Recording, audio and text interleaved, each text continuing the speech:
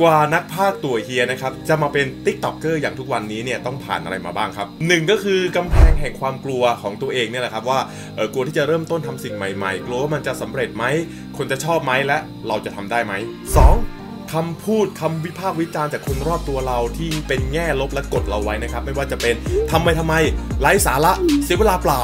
เก่งแล้วออกไปทำคลิปสอนชาวบ้านเขาอะไอ้พวกนี้นะครับมันจะกดเราไว้ครับ แต่เมื่อไหร่ที่เรากล้าที่จะก้าวข้ามผ่านความกลัวเหล่านั้นไปได้แล้วก็ เราจะกล้าทำอะไรใหม่ ๆ แล้วก็ปลดปล่อยความคิดสร้างสรรค์ครับ และก็เป็นตัวของตัวเองได้อย่างเต็มที่ และสามารถจะสร้างแรงบันดาลใจ และส่งต่อแรงพลังใจ ในการแสดงออกทางความคิดครับ พี่เฟิร์สนักภาคตัวเฮียทำได้ คุณเองก็ทำได้เหมือนกันครับ